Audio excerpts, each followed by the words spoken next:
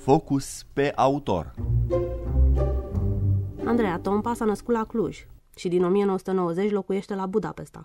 Primul ei roman, Casa Călăului, a apărut în 2010 la Caligram Publishing House, urmat apoi în 2013 de romanul De la cap și de la picioare, un roman care este deja considerat de critici ca fiind una dintre cele mai bune proze ale literaturii maghiare din ultimii ani. Andreea Tompa este laureată a premiului de debut pentru literatură maghiară din Transilvania pe anul 2010 și al premiului Bekeș Paul. În prezent scrie despre teatru și este cadru universitar la Universitatea Babeș-Bolyai din Cluj. Nu prea scriu altceva decât um, despre locul unde m-am născut și despre istoria acelui loc.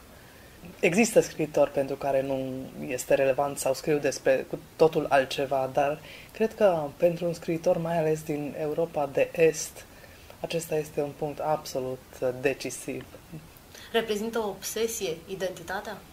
Aș dori să nu fie obsesie. Este un, un dar, dar un dar așa mai greu și mai dificil de desfăcut.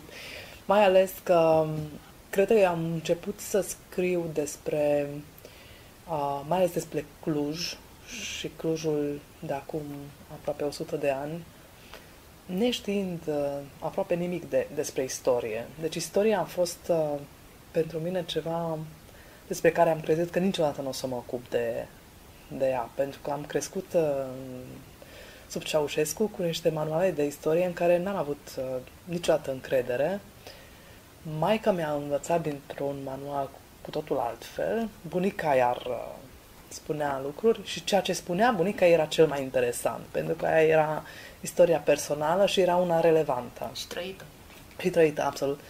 Deci eu în istoria acesta scrisă niciodată n-am crezut și am, m-am gândit că nu o să mă ocup de ea.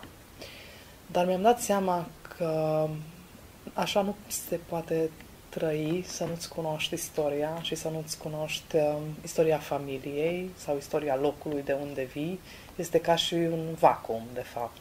De parcă n-ai venit de niciunde.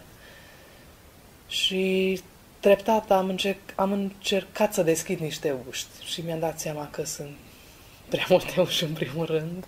Deci este un fel de dar, dar un dar necunoscut pentru mine sau acum încerc să să fac cunoștință cu acest trecut.